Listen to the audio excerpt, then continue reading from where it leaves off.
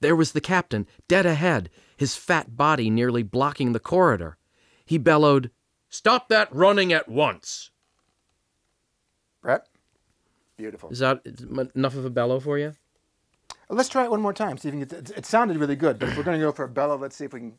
Let's push push the machine as far as it can go. All right, once more. Stop that running at once. One more time, Dan. Stop that running at once. I think we got more out of the first one, actually, Brett. Okay. I really enjoyed directing Dan because Mel Brooks said of, of Marty Feldman, you just had to get both his eyes pointing in the right direction and say, go be brilliant. And that's one kind of directing and one kind of acting. But Dan has always said to me that he thinks the better the actor, the more direction they actually require. And Dan is the best actor I know. And I love directing because he's very susceptible and responsive to the suggestions that I make. Jeff braced his legs. The Velcro boots seized the carpet, and his feet slid in their looseness. He stumbled onto his hands and knee. He stumbled onto his hands and knees. Where's your emergency mask? Let's let's take him. Uh, let's have a moment of discovery there. He's been yelling at this for the other thing. Nah. And all of a sudden, he realizes a new violation. Gotcha. Where's your emergency mask? Yeah.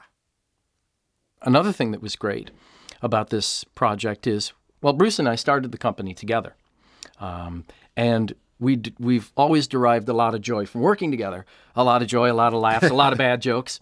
Lots And- of bad jokes. Right. Well, that's important. Uh, and this was a chance for us to return to the forge of what we. One of the things we love the most about it is working together and and being ourselves and being unrestrained artistically and just having fun in the studio. Jeff patted his hip. The space station was under meteor alert. He was supposed to carry the emergency oxygen mask. He was supposed to carry the emergency oxygen mask in a case. Don't rush through it and find. Take the breath after mask if you can. Yes, that's a good place. He was supposed to carry the emergency oxygen mask in case an eme- in case a meteor punctured the station. I had it a minute ago. It must have fallen off.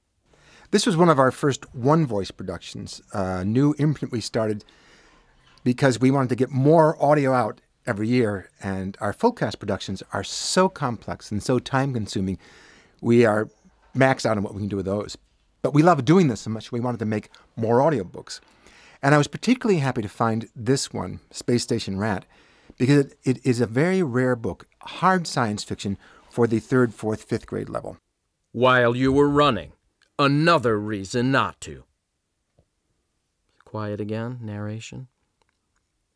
Jeff had to agree. Meteors made him nervous. They reminded him that blacks they reminded him that black space, empty and deadly, waited just on the other side of the walls. Nanny glided to a stop next to him. Jeff's emergency mask dangled from a gripper.